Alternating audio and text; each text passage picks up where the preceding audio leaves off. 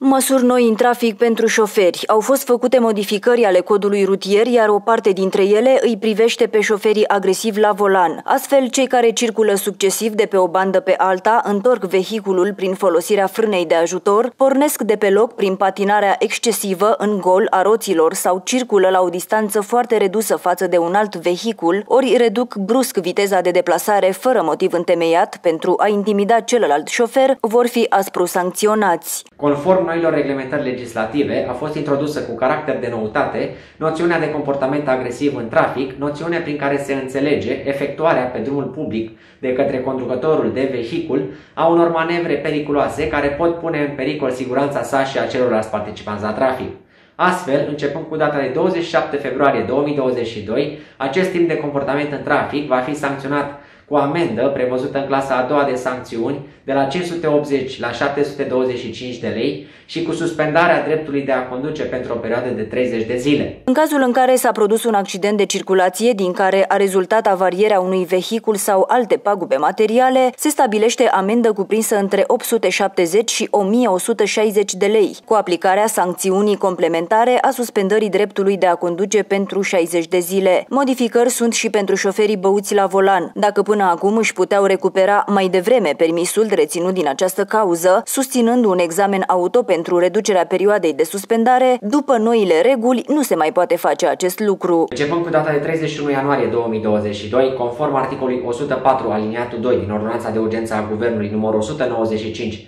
per 2002 privind circulația pe drumurile publice, modificat prin ordonanța Guvernului numărul 1 din 27 ianuarie 2022, conducătorii auto depistați și sancționați pentru conducerea unui vehicul sub influența băuturilor alcoolice, respectiv cu o alcoolemie mai mică de 0,40 mg pe litru alcool pur în aerul expirat și pentru care legea prevede obligativitatea deținerii permisului de conducere, nu mai pot beneficia de reducerea perioadei de suspendare a exercitării dreptului de a conduce. Potrivit reprezentanților serviciului rutier Olt, în luna ianuarie a acestui an, 40 de șoferi au solicitat reducerea perioadei de suspendare a permisului auto reținut din cauza consumului de alcool. De asemenea, noi modificări sunt și pentru neacordarea de prioritate pietonilor, dar și mașinilor. Astfel, șoferii care nu acordă prioritate sunt sancționați cu 6-8